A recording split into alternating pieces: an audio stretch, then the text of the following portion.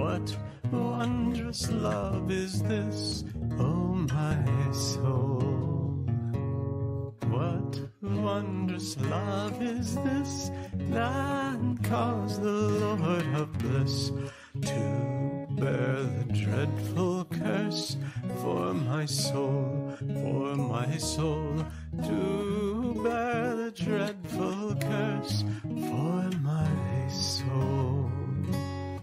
When I was sinking down, sinking down, sinking down, when I was sinking down, sinking down, when I was sinking down beneath God's righteous frown, Christ laid aside his crown for my soul, for my soul.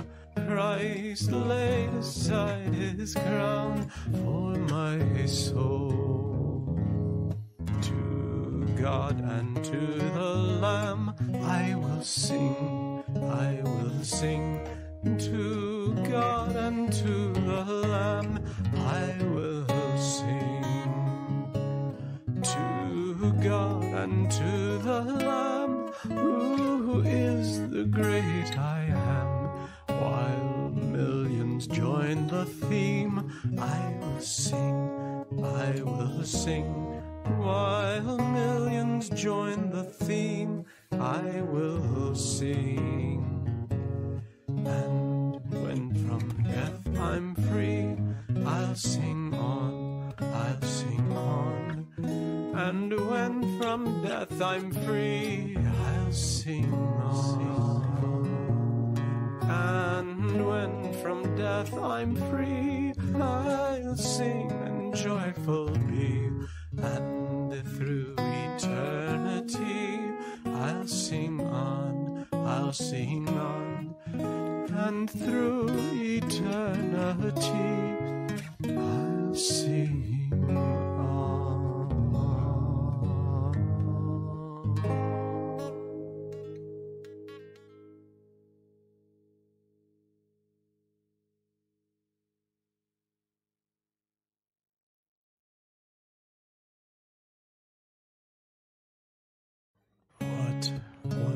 Wondrous love is this, oh my soul, oh my soul?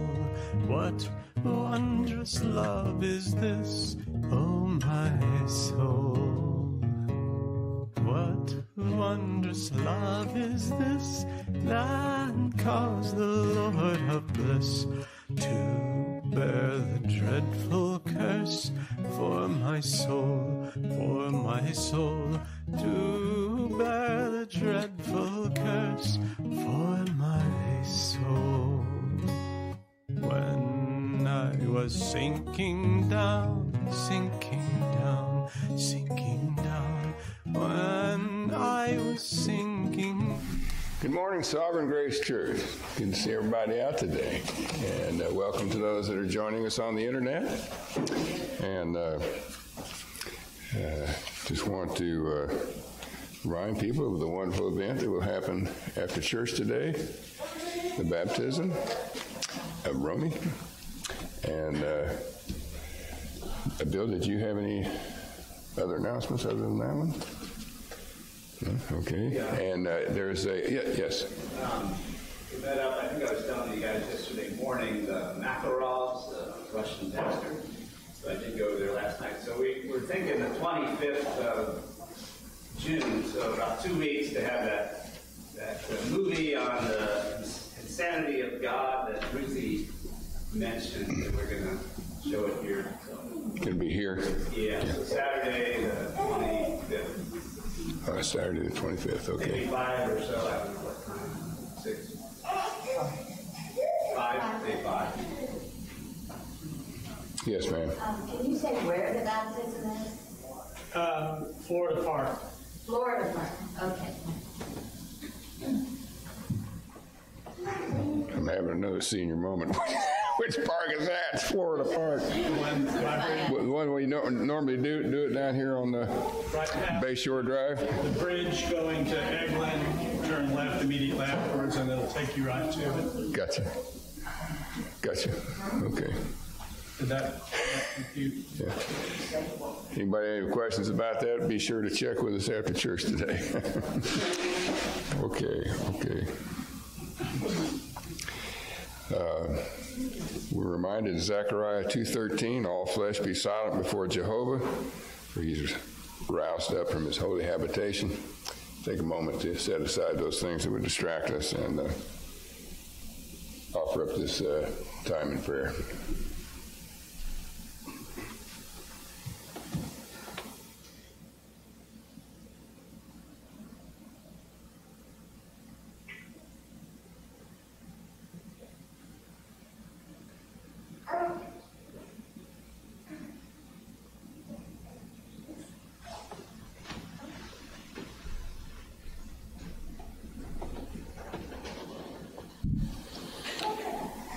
Psalm 59, 16 and 17.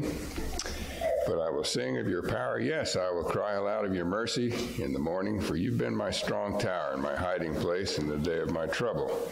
To you, O my strength, I will sing compositions, for God is my strong tower, the God of my mercy. Let's begin our worship service this morning with our choral call to worship, uh, standing together and uh, praising Him with the song "Praise Him." Worship, worship uh, number eleven. Worship song number 11 in the blue psalter in there.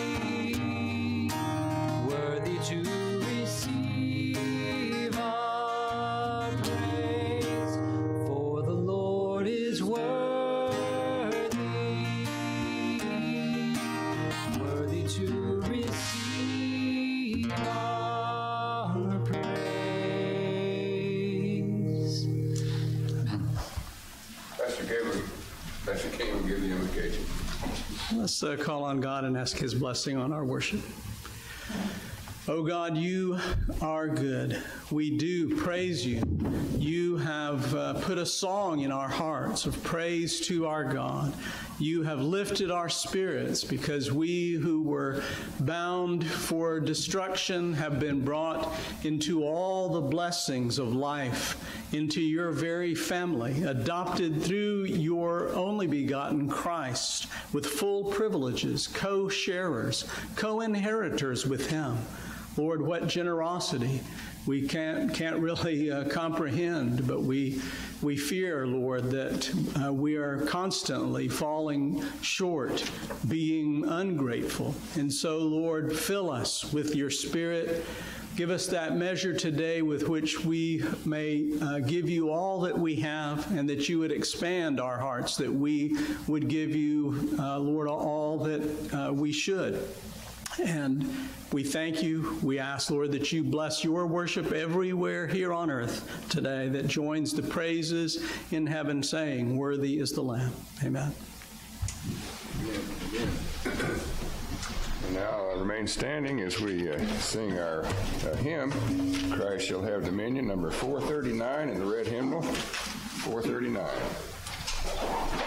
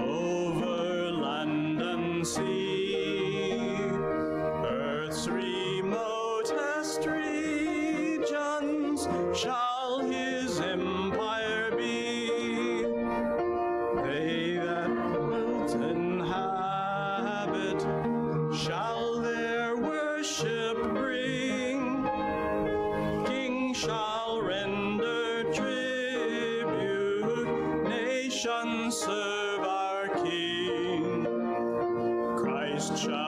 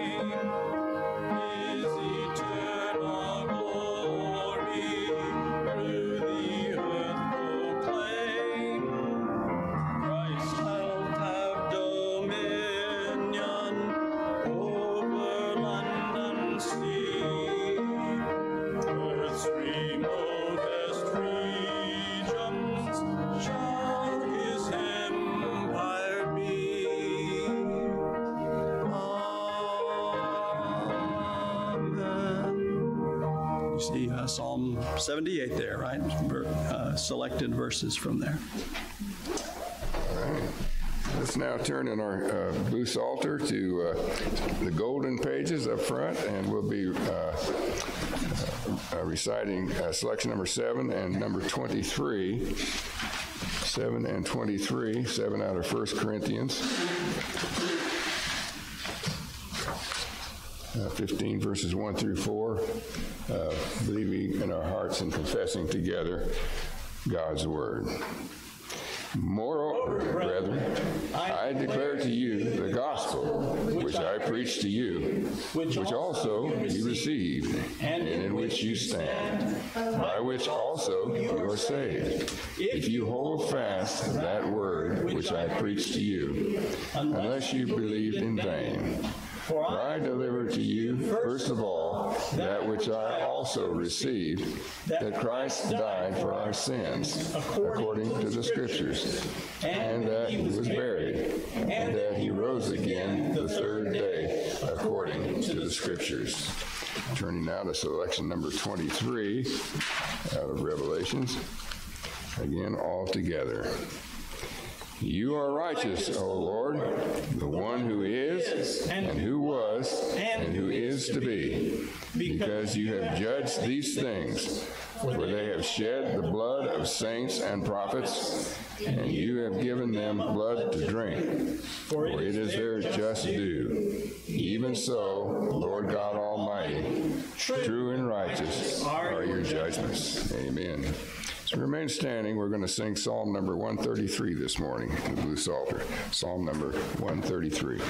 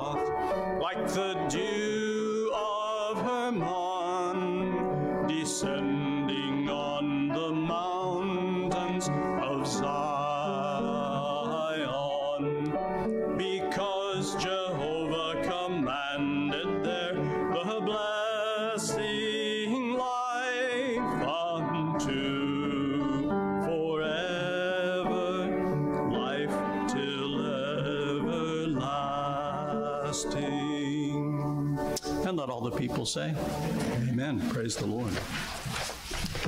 And time, right? Yeah, you may be seated. Sorry.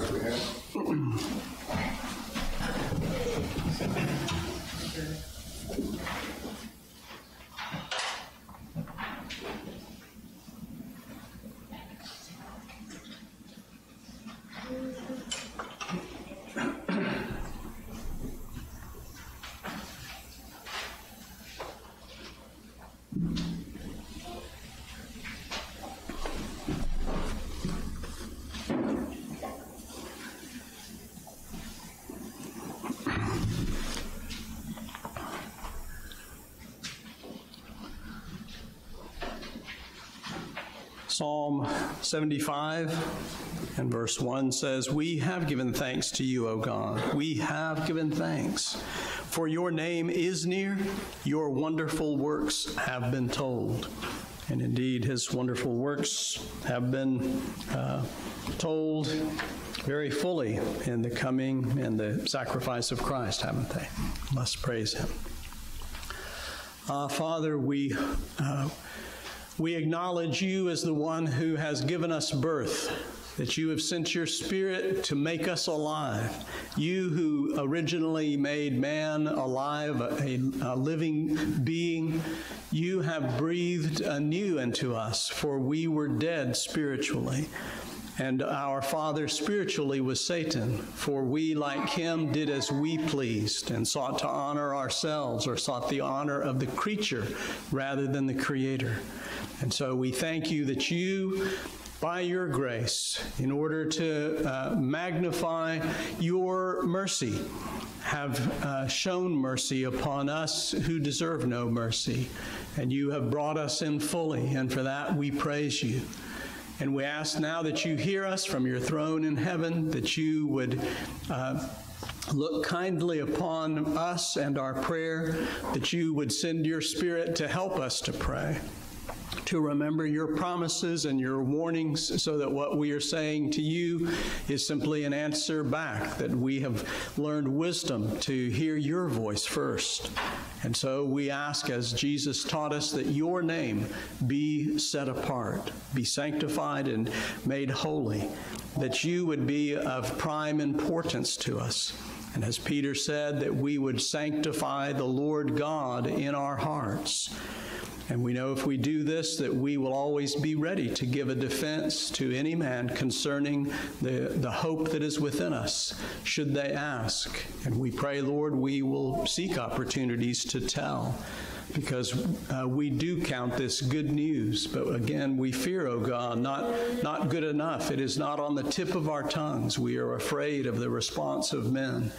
Lord, take this fear away from us. Let us uh, operate in your name, on your authority, in your power. And so cause your kingdom to come, so that the one who is king, to whom all authority has been given in heaven and on earth, so that he may receive the praise. And we long for his coming to take possession of what is his. We uh, thank you for the power that you give us now to walk in his ways the kingdom of God that is righteousness and peace and joy in the Holy Spirit. Bless us, Lord, to um, seek to dwell in, in the Spirit, and that we will be filled in the Spirit, speaking to one another in psalms and hymns and spiritual songs, singing and psalming in our hearts to you. Lord, teach us your ways, teach us your will, teach us your commands, so that your will will be done here on earth the way it is done in heaven by your angels. And so teach us, Lord, from your word today, uh, every day, that we will delight to walk in your ways, seeing that uh, it is all summarized in love, in loving you and loving one another. And yet, this is exactly what we uh, didn't do before. We only uh, chiefly loved ourselves or we loved others who pleased us in some way. Thank you, Lord, for showing us the better kind of love. And we, we pray, Lord, that we would operate according to it and that we would be those who give as you have given. We pray, Lord, that you would hear our prayer for the nations, their peoples, and their leaders, that we, your people, may uh, lead peaceful and quiet lives in all reverence and somberness. We pray, O oh God, do not deliver us into the hands of those who hate your gospel and who uh, see that they are uh, in opposition to you and must uh, quiet your people and your ways. And so, Lord, we pray that you would bring down leaders that have already succeeded in doing this and who imprison your people freely. We pray, Lord, that you would bring down Xi Jinping and other leaders in the world who uh, harm your people. And we pray for your people. You've told us to remember those in prison like we were there with them. And so, Lord, help us as we pause to do that together.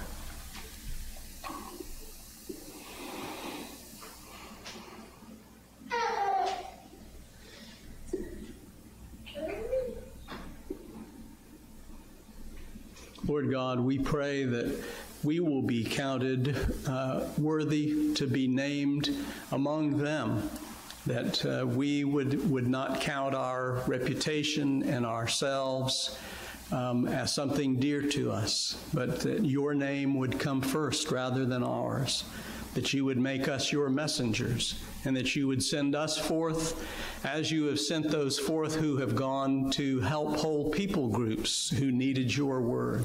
Thank you for all those we may help, Lord, as a, as a church. We pray, Lord, for the Valandries and for the Youngers, the Melcheskis. We pray that you'll bless Ruthie starting up. We pray that you will bless the Hinses, the Wilds. Lord, uh, we thank you for the privilege of participating with them. We pray for those now that are uh, ministering to Ukrainian refugees, that you would give them special grace uh, to preach your gospel at this time in their uh, giving of comfort. Lord, we pray that you would send messengers to the Jews. Oh God, how long until that promised time that you bring them back?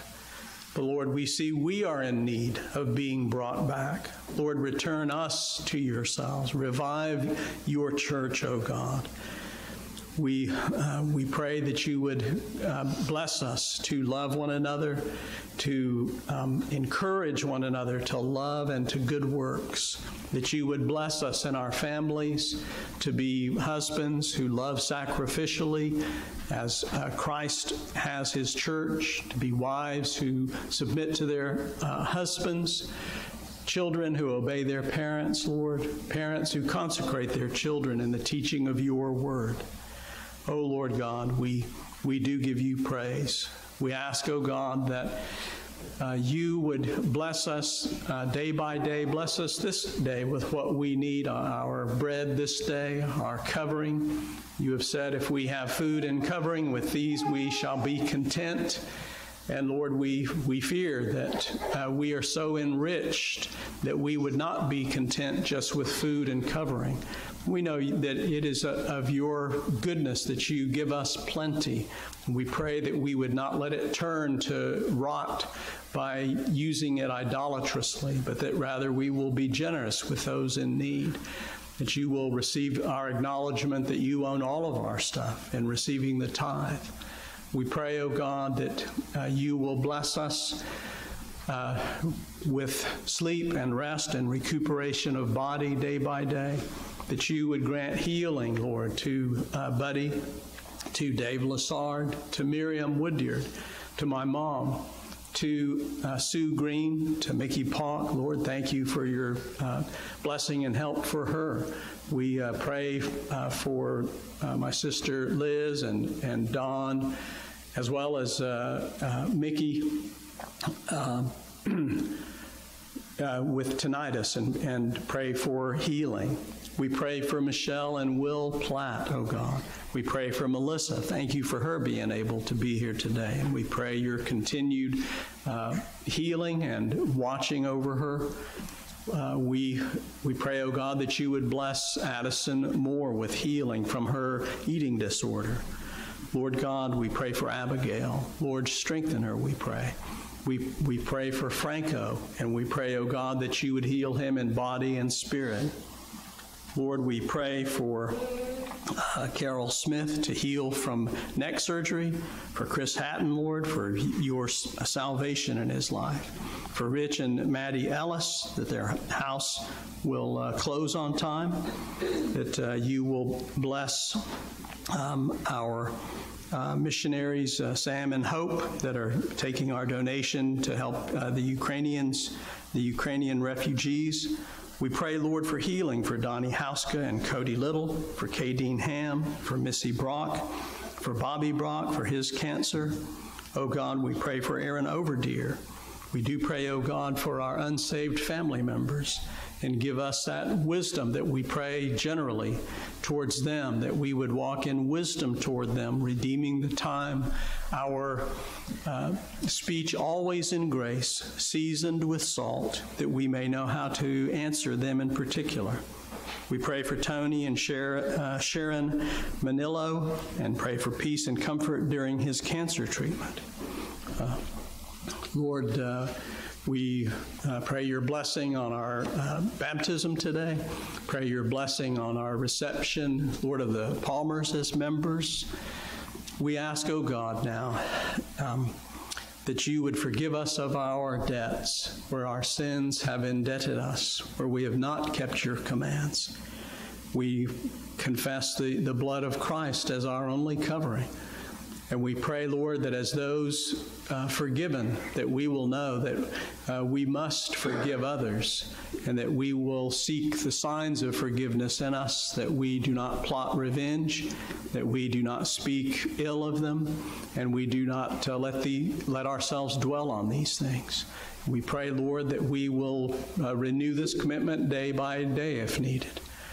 Lord God, don't lead us into temptation then, uh, temptation of bitterness and unforgiveness or any temptation. Lord, uh, we know, Lord, you do not cause temptation, that it comes from our own desires. We pray that you would deliver us from them and from uh, Satan being able to use them by pointing them out to us, O oh God. That in your grace you would show us and uh, show us where um, we are idolaters or uh, where we are those who hate our uh, brother, our neighbor in any way. Show us, O oh God. Thank you for your word and its natural power of conviction to convict us of sin. May you so work powerfully in us uh, to bring us humbly before you. And uh, these things we ask in the blessed name of Christ. Amen.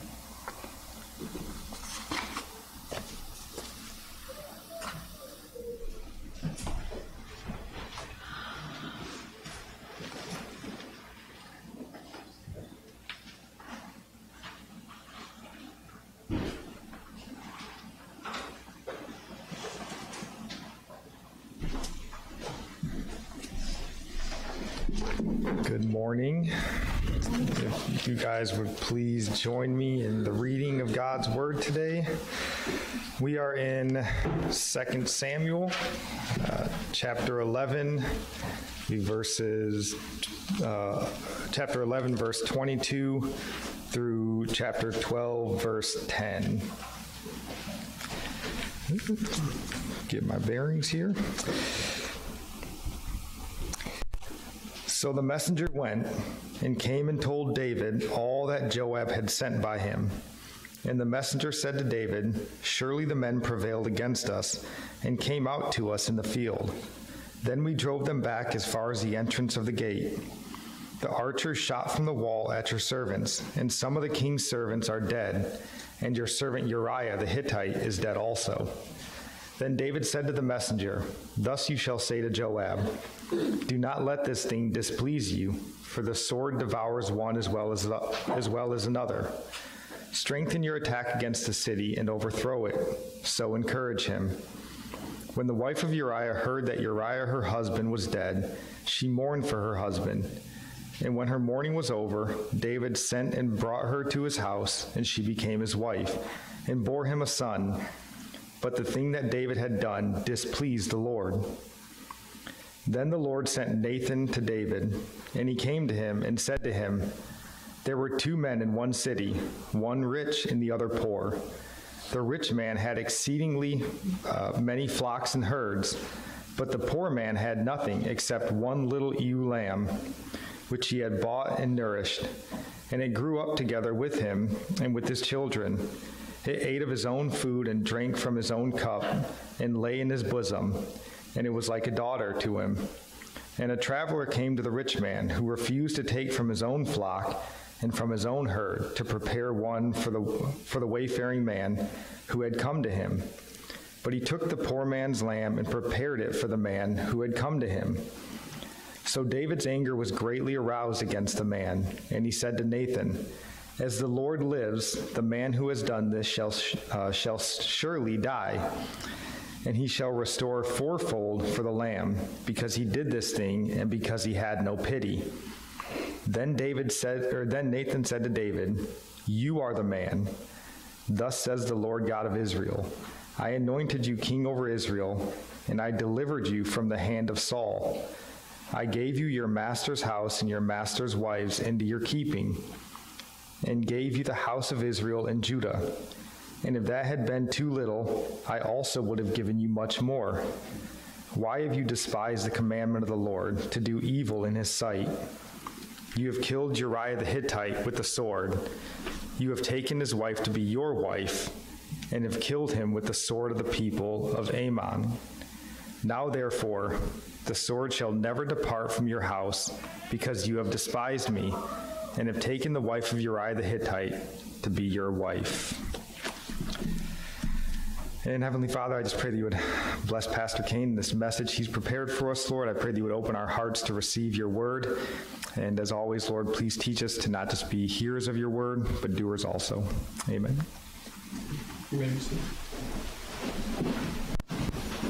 And uh, if uh, the Palmers can uh, can come up, is that a? We're going to try and make this doable here.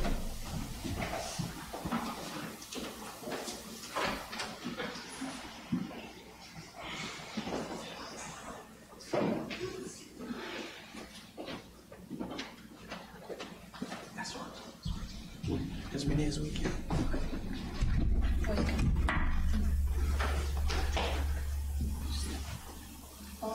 So. All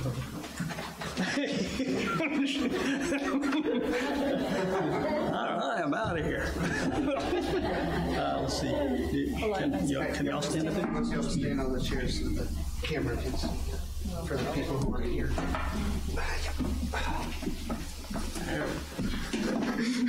Wow, man, he's a big So, the, uh, the Palmers have expressed a desire to become uh, members here, and uh, so we uh, talked with them and uh, confirmed their um, love of the Lord, and um, and this basically then is uh, just a prayer of mutual commitment, and receiving them as members is just saying, recognizing their desire to be committed to us, and then simply saying, and we reciprocate that we're going to be committed to you so that we will be faithful to one another. And so let's uh, pray that prayer of commitment. Lord God, um, thank you for your great work in our midst. Thank you, Lord, for giving us uh, local churches, local bodies of believers to serve you. And we pray that you would help us to serve you together here. And we thank you, Lord, for the Palmer's desire to uh, throw in their lot with us and to strive together for your gospel. Pray your blessing on them in every way, O God. We all need your spirit. Supply it plentifully to them and let them uh, believe that you will give it. And I pray, Lord, now that uh, you would bless us in our ministry to the Palmers and our faithfulness to them, Lord. And we uh, uh, pray that you would bless them in ministering to us, that we would all exhort one another daily while it is called today, lest we be hardened through the deceitfulness of sin. Lord, we love you and praise you in, in Jesus' name. Amen. Amen. amen All right, be careful, get down. All right, big fella. Yeah.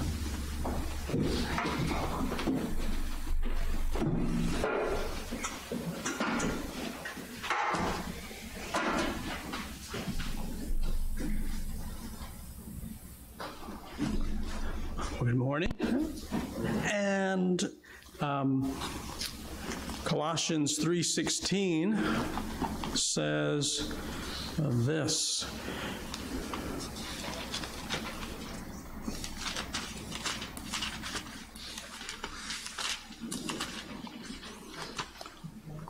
Let the word of Christ dwell in you richly. Since I'm taking such a long time to find it, I think I'm starting it out right there. Uh, in all wisdom, teaching and admonishing one another in psalms and hymns and spiritual songs, singing with grace in your hearts to the Lord, parallel to Ephesians 5:19. Let the word of Christ dwell in you richly. Dwell in you and dwell in you in a flourishing manner, not just that it's there and that it's alive, but that it's overflowing. Uh, may God grant that that would be our relationship to His Word. Amen. All right, and our uh, second Sunday of the month sermon series through the life of David brings us today to the end of chapter 11 and going into chapter 12.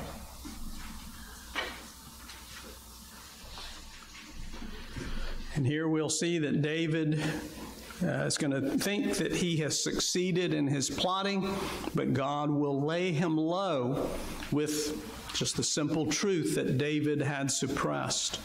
Creatures who can completely deny reality, which is where David is right here in the story, should always be on the lookout for spiritual hazards.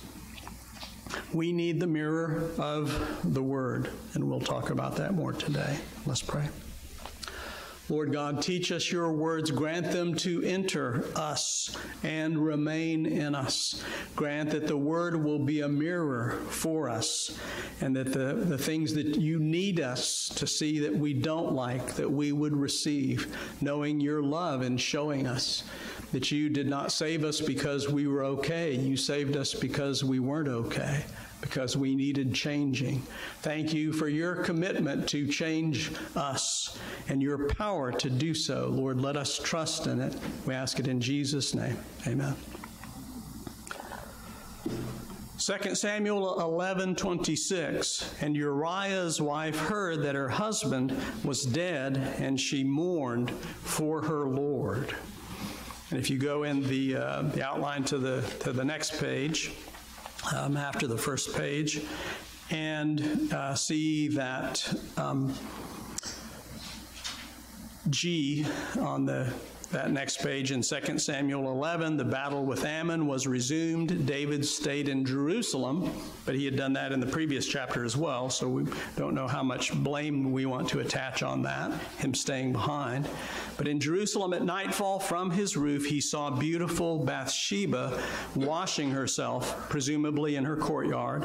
He inquired concerning her, and God gave him warnings to leave her alone. Isn't this uh, Bathsheba the wife of Uriah. So the messenger was trying to, you know, hint him in, you know, if you've got uh, more than a healthy curiosity about her, uh, you need to probably lay it aside. She was married to one of his chief military officers and daughter to another one of them. But David committed adultery with Bathsheba. Bathsheba, like David, had been holy up to this point. Bathsheba conceived, and David started looking to cover his tracks. He fetched Uriah from the battlefront where he was, hoping that Uriah would go home and lay with his wife, and then that would be okay, yeah, you're the one who got her pregnant. Uriah refused the comforts of home. God said, I'm not going to let you have this out, David. And so Uriah stays away from his house. David sent word to Joab to plan an attack where Uriah would be killed, and that was accomplished. And we saw that elaborate back and forth of the message to Joab, the message back, the message given to the messenger, and then the message as it was relayed to David. We looked at that last time. Kids speak. Kids, whom did David have killed last time we looked at his story?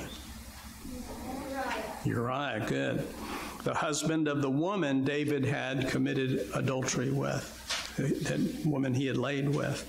By the way, I, I have a. Um, messianic flow sheet as uh, one of the little half sheets in your bulletin there. Um, I, I, forgot what chapter I was listening to a recording of and made me uh, think of, you know, just one um, kind of a one sentence thought of how David was like the Messiah in that chapter. So I won't go into that sheet, but you have it there. And of course, when you get up to chapter 11, then you're like, well, he's not acting like the Messiah in this chapter. And so probably uh, the um, the flow could could be revised to go back to 1 Samuel 25 and actually say, as we said then, that Abigail was the main type of Christ in that chapter, who's the main type of Christ in this chapter? Uriah. So, uh, as far as an outline, first of all, it can look like we got away with it.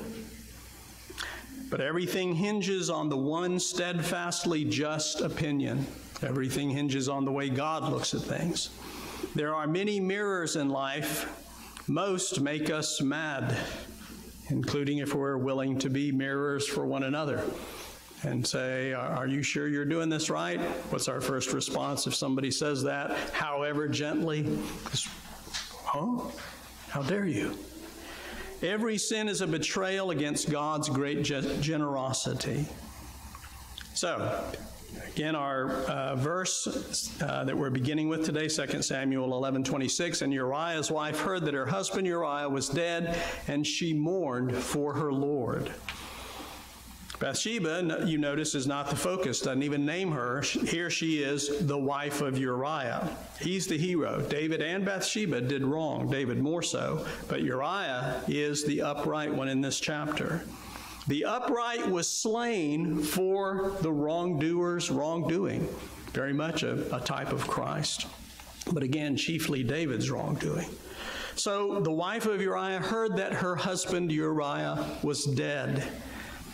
Since David does not seem to have returned word to Bathsheba since she sent him word of her pregnancy, this was probably her first good lead on what David had done. Okay, my husband's dead. Okay, and I committed adultery with David. David's the commander. So we're again we're assuming she hadn't heard anything until this. Uriah's death was a very unlikely coincidence. It sounds like Bathsheba heard through regular channels, like any other officer's wife, or probably just any other soldier's uh, wife would hear if they had died. And she mourned for her Lord. Lord, not the usual word for, for husband, which is just uh, ish, the word for a man, but not uncommon. The biblical roles of husband and wife as Lord and second in command. Notice I didn't say Lord and servant, Lord and second in command, and that's the way it was originally, right? It says uh, he says, "I will make a help suitable to you, a, a helping counterpart." That's the second in command. That's clear from the word Lord. A godly husband is to love his wife, not coerce her submission. And her command is to submit. If she doesn't do it, that's on her. The husband can't say, I will make you submit. I mean, that's, that's up to her. If she wants to disobey, that's on her. Now, of course, uh, you know, he will uh, be seeking grace from God to be able to impose godliness in his house where it's not voluntary, but he can only go so far which is why you want to choose a good husband, wife in the first place, right? So uh, she is mourning, she is uh, grieving. That's the fifth time that we've had this word in the first and second Samuel saga. The first two for Samuel's death, the, the next one for Saul, right at the beginning of Second Samuel. The next one was David telling Joab, You will mourn for Abner, whom you killed. Remember that? And lastly, this one. This is the last one in uh, these two books. The word connotes the deep expression of emotion, even sort of connotes uh, or denotes a beating of the breast. Bathsheba's mourning must have been particularly conscience stricken, though, because um, she's saying, hey, you know, I had something to do with this, with his death. David was too enmeshed in his plotting to let conscience bother him. Kids speak. Kids, what did Bathsheba do when her husband died? Well, she spent maybe a, a month. And that's how long they mourned for Moses and Aaron's deaths, by the way. Um, maybe longer, though, for a husband doing things to remember her husband and to be sad about him dying. Usually um, in our culture, well, I say probably not anymore, but used to be you could tell if somebody went around wearing black, that would say that they were in mourning. Uh, it's not so much of a popular thing anymore. But she was probably really sorry because she thought, oh, I probably was partly to blame for him dying. 2 Samuel 11 27. And the grieving period passed over. Then David sent and gathered her to his house, and she became his wife, and she bore a son to him. But the act that David had committed was wrongly done in the eyes of Yahweh. So this grieving is a uh, different word than the one in the previous verse, just a, a synonym. Uh, Passover, very common Hebrew word, usually of uh, physical movement, of passing over from this region to that region. So this is a less us- usual usage for passing over. But so is its next occurrence. The next time we see this word for passing over, it's when Nathan will tell God that God has passed over his sin. Just a little bit more into chapter 12. Well, this grieving uh, refers to Bathsheba. She fully observed the proper time of mourning for her husband. The chronicler has revealed her general holiness before this slip. And so, back in verse 4, the, the, the priestly language that we have of her in, in 2 Samuel 11 4 uh, told us that, that she didn't just cleanse herself from her impurity, she consecrated herself from it. This period of grieving indicates that she had resumed her God centered frame of mind as much as she could uh, with maybe a, a guilty conscience. Presumably, she had no knowledge of what would happen to her next. You know, again, we don't have any indication that David had told her what he would do in the meantime. She probably had worked out in her mind whether or not people would question her pregnancy being from Uriah. She likely accepted this contingency. So, of course, David wasn't very nice not to communicate with her and give her any assurances. Maybe he did, but it doesn't look like it. Just left her to, you know, thrash about on her own. But then David sent and gathered her to his house. Contrasted to the last time back in chapter 4 verse 11, where he sent and took her. we recall sent being a prevalent theme at the beginning of the chapter. This sent in this verse provides some resolution to the troubling sendings earlier. The next will be Yahweh sending Nathan to David, right in chapter 12, verse 1. It says he gathered her to his house. If you look up the word gathered, you see, a, yeah, it's usually a word of comfort, of gathering someone in to protect them. David took her from her bereavement and gave her a home. That was making the best of the wrong he had done. And she became his wife. Another wife added to the six plus that he had. And we, we actually had a, we're able to count up to six, but there's more than that. Um, as we'll actually talk about again. She will become the queen mother because she's going to bear Solomon next, right? She will become the queen mother we wished Abigail could have been. Remember that when we talked about Abigail? We're saying that would have been the one right there. But she will be it. And not to say that she would uh, necessarily be um, inferior, but the chronicler, you know, focused us in on Abigail, saying, you know, uh, she is uh, the kind of of a mother you would want for a, to raise up a king from her household. Kids speak. Kids, David did very wrong to lay with Bathsheba and to kill Uriah. But he did right to marry Bathsheba so he could make sure that she and the baby were okay. All right? So here we go. And she bore a son to him. So about nine months have passed since the original incident. Uriah being a Hittite, David was not under obligation to raise an heir to Uriah. He had been Nabal's kinsman redeemer, so he was available to do that for um, Nabal in marrying Abigail, but that is also why Abigail could uh, not have children that would go to the throne, because they would be in Nabal's household. So it looked to all appearances that David had gotten away with it. In fact, he looked noble. Well, look at him. He's taking in, you know, protecting one of his fallen soldiers, you know, assuming that word hadn't gotten out. And, you know, these, uh, the servants around him, I'm sure, were well trained and tight lipped. But the act that David had committed was wrongly done in Yahweh's eyes. And that's, that's where we have a bit of the implication that he was starting to maybe look good outwardly, but no, he had done wrong to God. A final summation and verdict. Despite things looking like they might have worked out for David, God was not having it. But God hadn't been in a hurry to pass sentence. It's like, all right, we'll let this come to fruition. We'll let the child be born.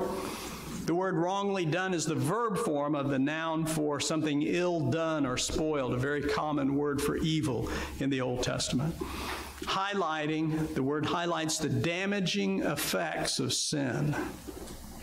But here it is ill done in Yahweh's eyes, as all sin ultimately is sin in reference to God. Meaning that even though David had made the best of his mess by bringing Bathsheba into his protection, his sins had not been extricated by that. His sins had not been ameliorated. The act David had committed sees David's two big sins as one. He murdered to cover adultery. The, it names singular the thing that he had done. So both of them together, we could probably throw in his pride now that he's thinking, hmm, I got away with it, have a son and a new wife I like. Remember, God would be a, for, a poor father to simply overlook our misdeeds. When we start reading in chapter 12, uh, his uh, pronouncements on David, it's heavy. As we will see in uh, 12, and I forgot to put the uh, verses in there, uh, the verse in there. Let's look. Let's look at it together. So 2 Samuel uh, 12. And you can see where Nathan is talking to him and when David finally confesses in verse 13 of chapter 12, I've sinned against Yahweh, Nathan said, Yahweh also has put away your sin.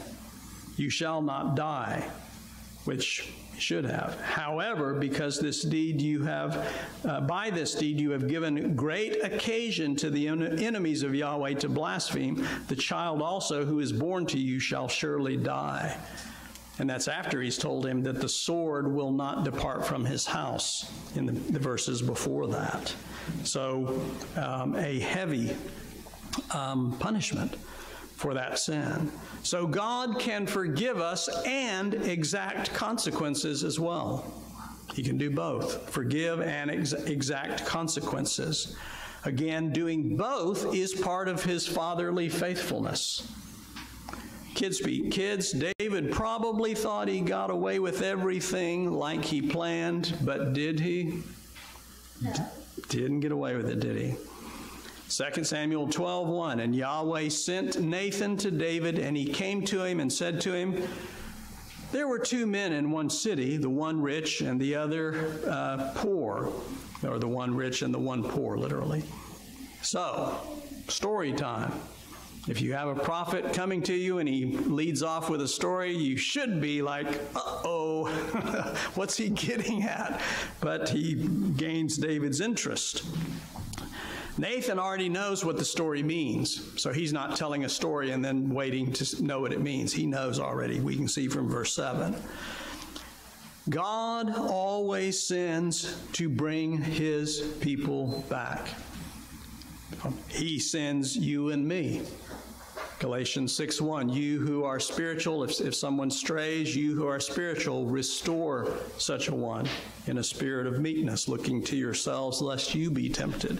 James 5 19 and 20. If anyone brings back a sinner from the error of his ways, let him know that he's covering a multitude of sins and 1 John 5 16 and 17. We have anything we ask. If we even ask for a brother who is sinning a sin not to death, God promises to bring him back. And of course, you hook that one up with the James, which would include then you pray for him and you go get him. You go say, Brother, turn around, come back to the Lord. So, the story a rich man and a poor man. Our barometer is already set for an injustice, right? Because that's what we see in life. When we see rich man, poor man together, if the rich man's not helping the poor man, we usually think, okay, how's he hurting him? Because that's usually what's happening. The uh, Bible is cynical towards rich people. We've seen it in our study of Luke. Blessed are you poor Matthew is poor in spirit, Luke is just poor. And then in Luke, it's woe to you rich, or woe to the rich. Bam, just like that. So I mean, you've already got a strike against you if you if you have more than enough, which is most of us, isn't it? I mean, in a blessed nation, you have to hear that. You have to hear that word. It says, I've got counts against me that I'm going to have to find a way to offset James 2, 6, and 7. Isn't it the rich who oppress you? He tells his audience. Drag you into court. Dependence on God is just very hard when you always have more than enough. You know, if you have any sense, you know that. If, if you hadn't thought about it, you need to think about it. You need to just understand that. You know, it's Lord, give us our daily bread, but you're not praying that the same as somebody who's plowing the field and that's all he's got. That's a completely different prayer. Of course, it's helping us now that uh, our our supply chain is kind of broken down, and so sometimes we are a little worried. Huh? That's that's helpful spiritually, unfortunately. It's hard to simulate the dependence a poor man knows. No mere agreement that all our stuff belongs to God can get us where we need to get. You can agree 100%. Yes, I know God, it all came from you. But there's just nothing like a rumbling belly to set your prayers in the, in the right mode towards God. Regular generosity to the poor is an essential lifeline for the rich. Matthew 6 2. When you do mercies, merciful deeds to the poor. Hebrews 13 16. The, do the sacrifice of helping those, of being generous, of giving. And in 1 Timothy 6, I didn't put in here, where he, uh, he says, Command the rich that they be generous, that they give, laying up a a, a storehouse in heaven. 2 Samuel 12, 2. The rich one, so the story continues, had very abundant sheep and cattle, but the poor one had nothing except one little ewe lamb, which he had bought and preserved, and it grew up with him and with his sons together. And it ate from his own portion, his own morsel, and it drank from his cup, and it lay down in his bosom, and it was like a daughter to him. Come on now, that's funny.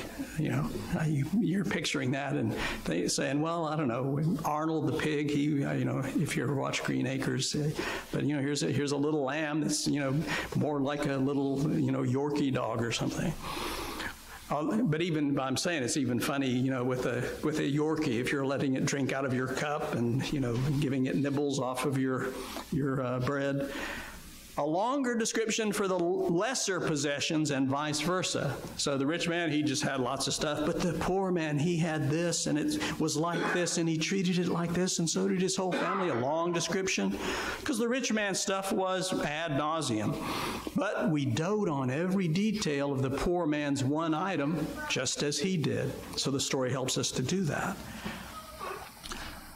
The rich and the poor man have one thing in common each one owns sheep, but the poor man only owns one.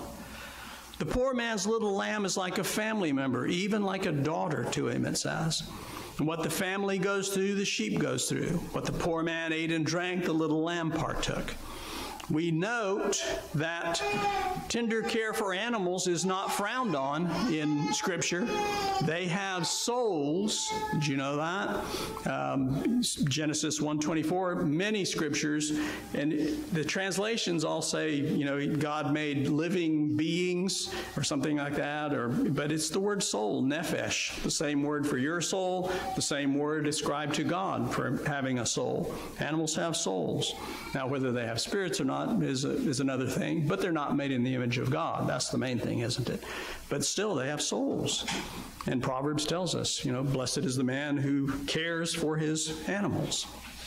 2 Samuel 12, 4 story continues. We got this rich man, this poor man, and a traveler came to the rich one, and he was diffident about uh, taking from his own sheep and from his own cattle to prepare for the trekker who had come to him. And he took the ewe lamb of the poor man and prepared it for the man who had come to him.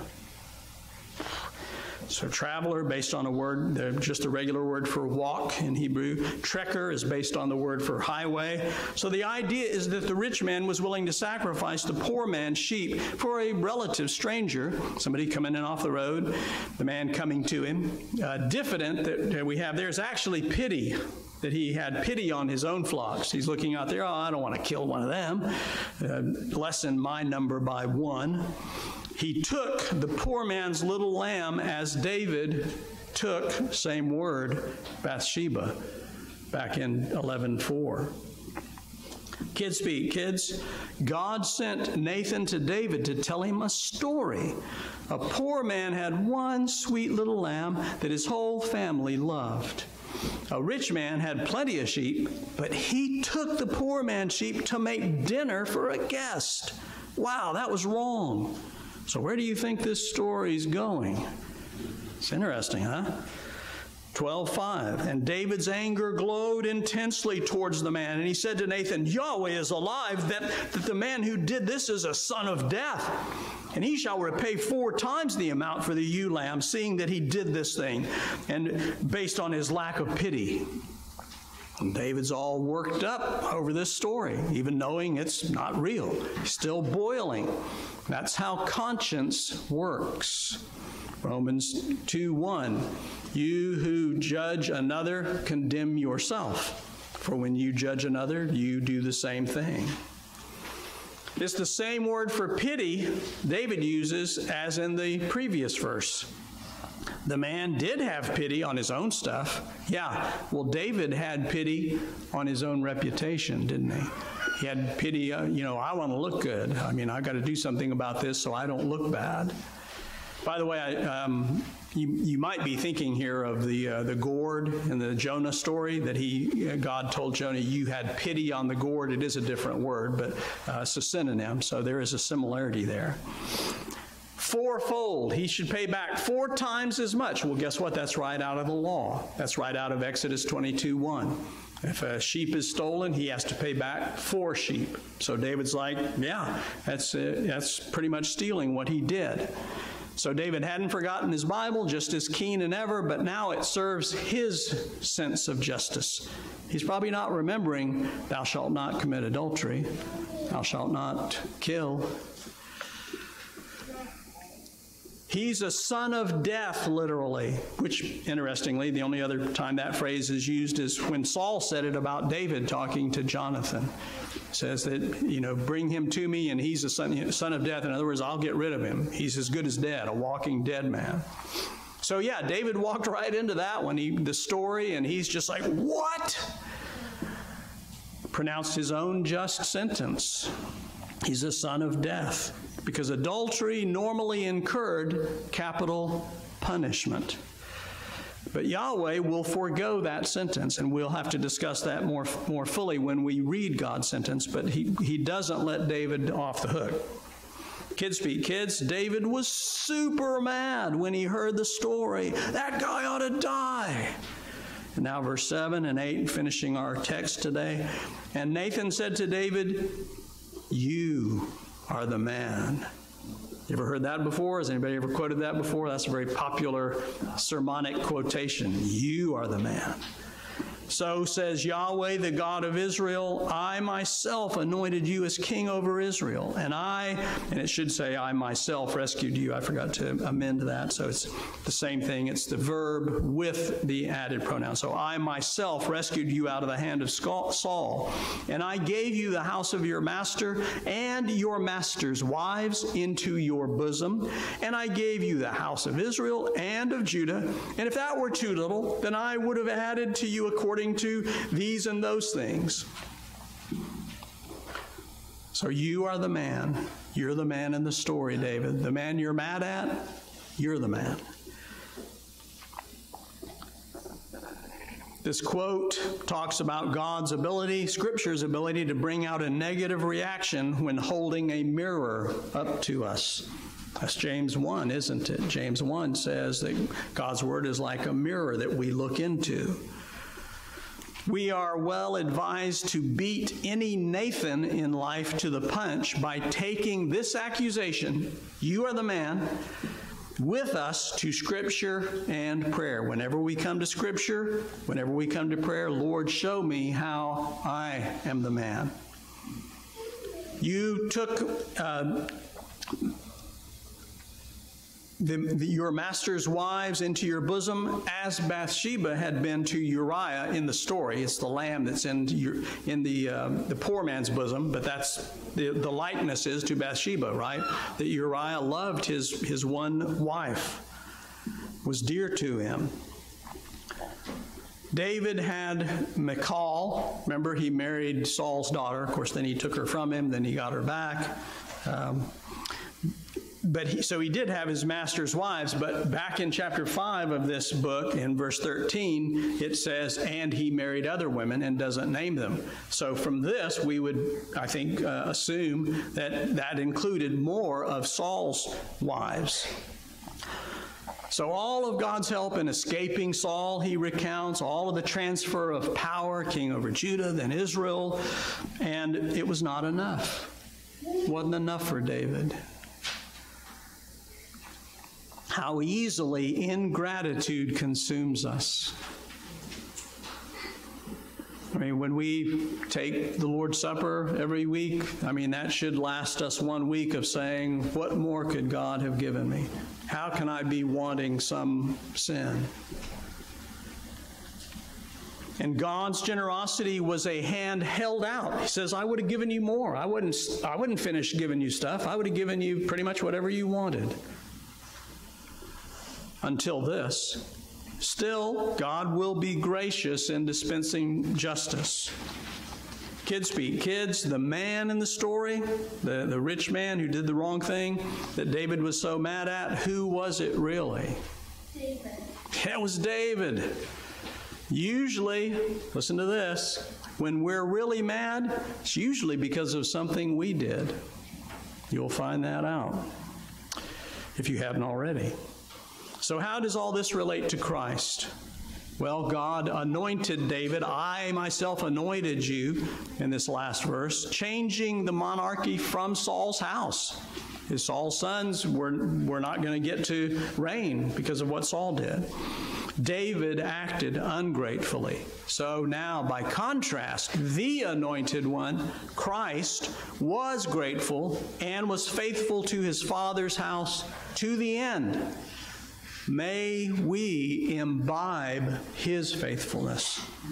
When we're looking to him, may we draw from that faithfulness.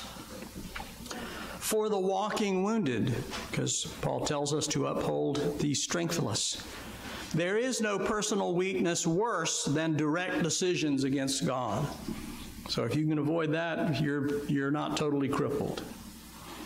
All right, all scripture is profitable for teaching, for conviction. Do I read scriptures to hear you are the man? That's what they're for, right? To say you are the man.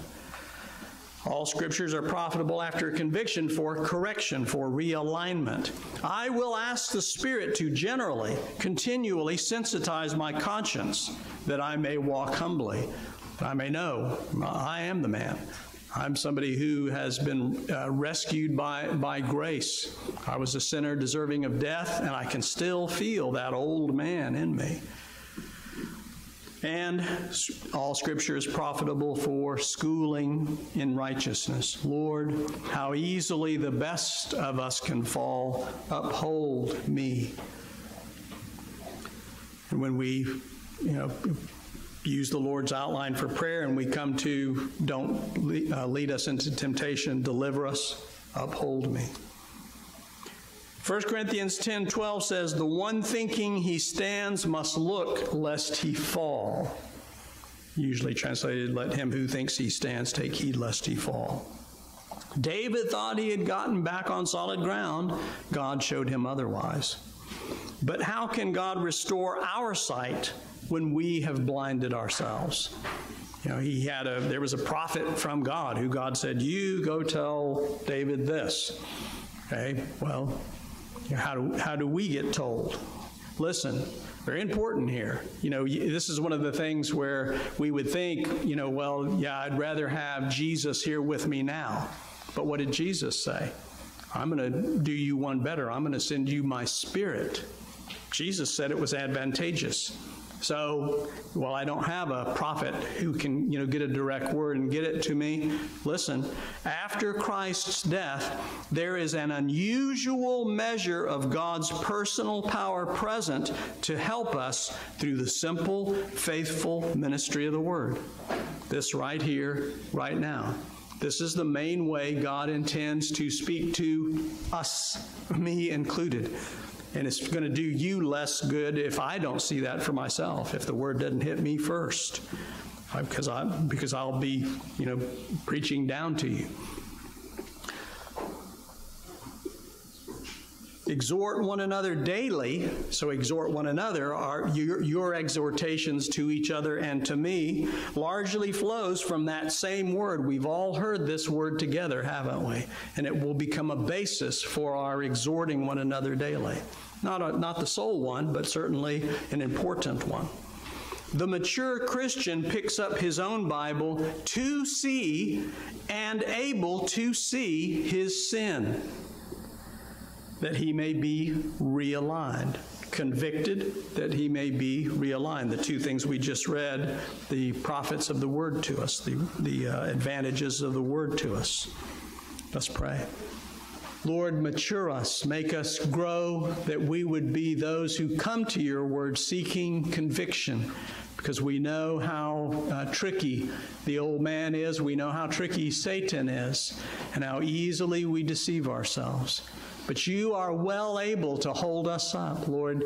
Let us always be looking into the light because we are always looking to the Lord Jesus, who is the light of the word, world. And we ask it in his name. Amen. And let's turn in closing to number 525 in the red hymnal, a child of the king. And let us confess our privilege to encourage ourselves with singing 525 in the red hymnal, Child of the King, and let's stand as we sing.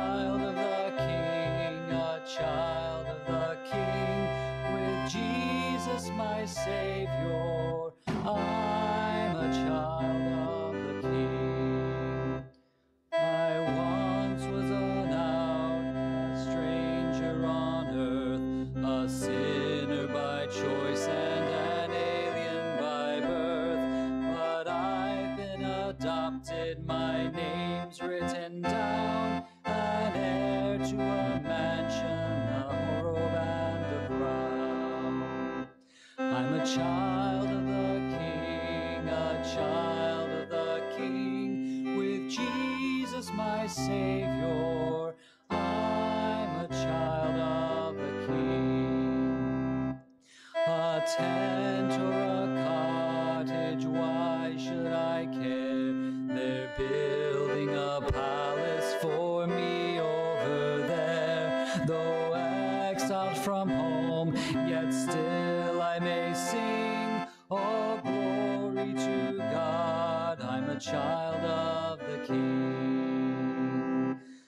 a child of the King, a child of the King, with Jesus my Savior.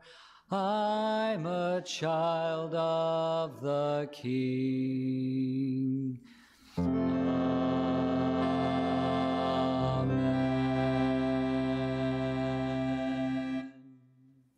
Amen. And you may be seated. And we come to the Lord's table.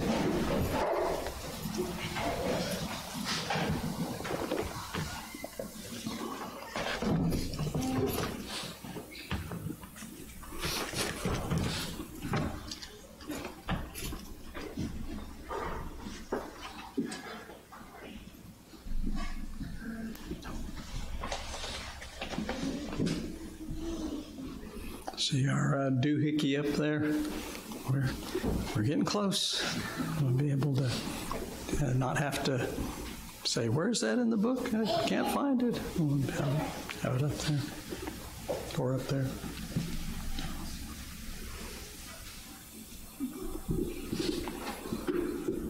And let's pray.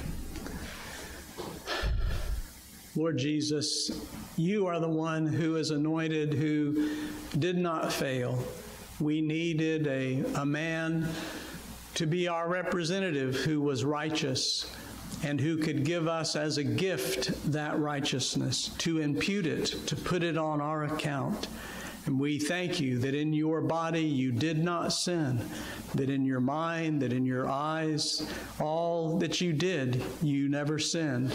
And so you were, as we've been talking about a lamb, that you were the different kind of lamb, the sacrificial lamb that had to be spotless.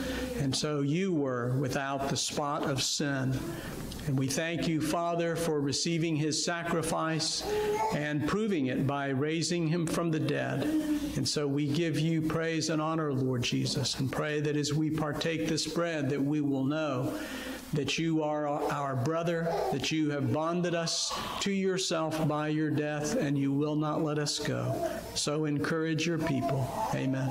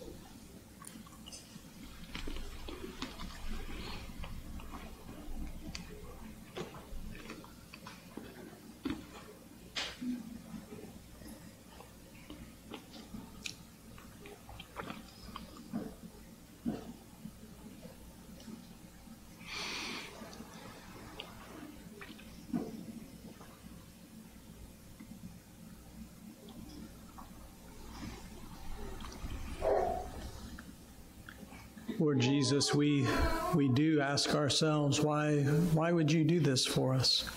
Why would you love us this way? We pray that we would have faith to believe that you have loved us. And then, as the apostle says, that the love of Christ con- constrains us, that in everything your love will be our banner. Lord, teach us this. We know it is a matter of faith, and we are little faiths. Lord, send your Spirit to revive us, that our heart might be large, that you might, might dwell in our hearts by faith, and we might comprehend the uh, height and depth and width and length, and to know and experience your love that surpasses uh, mere mental comprehension. And we ask this to the glory and honor of your name. Amen.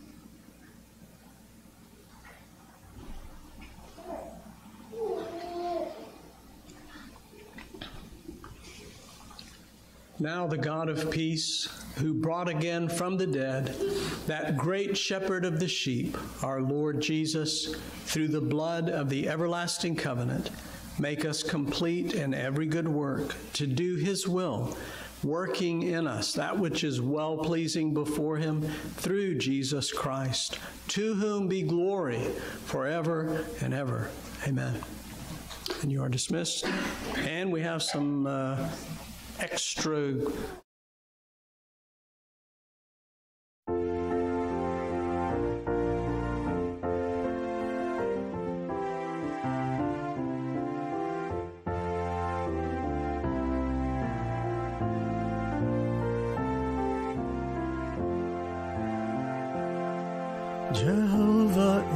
shepherd, I shall not lack. He lays me down in pastures of grass.